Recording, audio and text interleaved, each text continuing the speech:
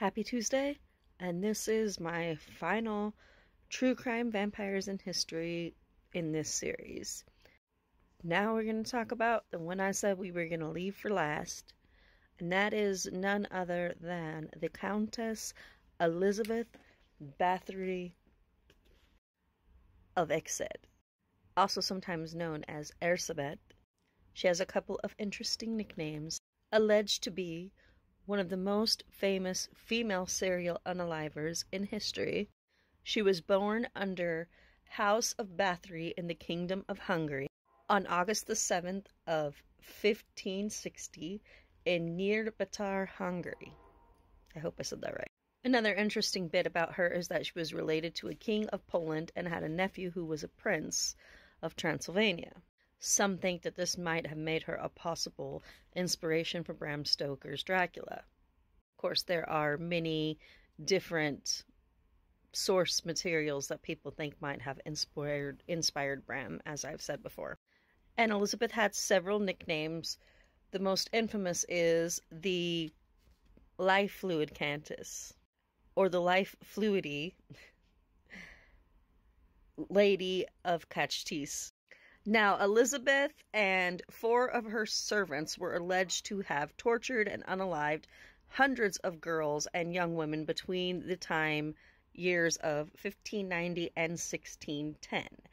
It is estimated that they unalived a possible total 650 victims. Now, Elizabeth was accused of a litany of horrific crimes against both female girls and servants who were servants or young women and also noble women. And they said that some of these noble women had come to her for training and for education. And supposedly, the majority of her alleged assaults and unalivings took place about the time that she became a widow, which was around 1604.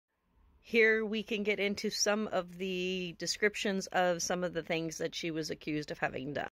During the coldest parts of the year, the most freezing months, she would often have young women stripped naked and forced to take an ice bath. Um, she sometimes tortured girls by driving needles into their fingers, cutting on their noses or their lips, and whipping them with stinging nettles. She was also known for biting often in the shoulders and breast area, as well as burning flesh, um, including the um, of some of her victims. Though people were never quite sure why she did this, the nature of her attacks suggested that she might have had an sexual um, motivation but it is impossible to completely determine what compelled her to do these things. A, another allegation associated with her was the idea of consumption of these young women and girls' life fluid in order to maintain her physique and her beauty. So there has been a legend around Elizabeth regarding her doing this in order to maintain a sort of youthful appearance and beauty. And for the same reason, she was said to not only consume the fluids, but also bathe in them. And she had a preference for young life fluid in particular because she believed that this is more potent and powerful and would aid in her vanity as she saw this as a form of sort of a fountain of youth, if you will. On December the 29th, 1610, the Count Georgi Thurzo, who oversaw ju- judicial matters in Hungary, arrived at her castle in Čachtice to investigate the Countess's alleged crimes against women of noble birth. Unfortunately, which is not uncommon, the mistreatment of her servants was not of concern to the authorities. They did not truly care until this began to be an issue with other noble young women. Supposedly, his visit came as much of a surprise to Elizabeth, and she was actually in the middle of tormenting a victim. And his response was to immediately imprison her within her home.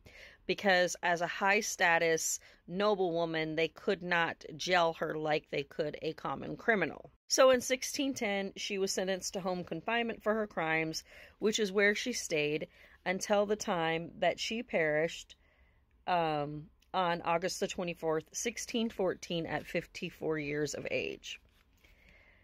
Now, four of Bathory's servants, three males and one female, were then arrested, questioned, and subjected to torture, and their court proceedings began in early 1611.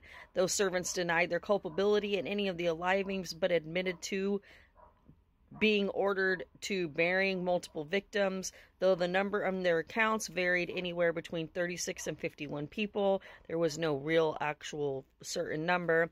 In addition to shifting blame to their mistress and each other, they also implicated a deceased servant by the name of Darvulia, who served as a maid and governess. And two of the women and the male uh, servant were, were sentenced to unaliving, which was quickly carried out. The fourth spared immediate execution, but what happened to her afterward is not quite known. Um, Another woman who supposedly used magic to help Elizabeth Bathory was also executed. After these executions, Thurzo continued to investigate the Countess, and one witness stated that Bathory herself had listed 650 victims in her papers, though the number of victims varied in other testimonials, and the Countess's exact unaliving toll still remains unknown to this day. The evidence gathered by Thurzo also included at least 289 different witness statements. And again, as she was a noble woman, she was not put on trial.